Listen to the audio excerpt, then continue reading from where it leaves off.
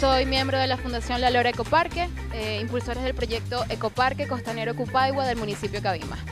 Eh, nos encontramos ahorita en nuestra área de huerto urbano, una iniciativa que responde a dos puntos.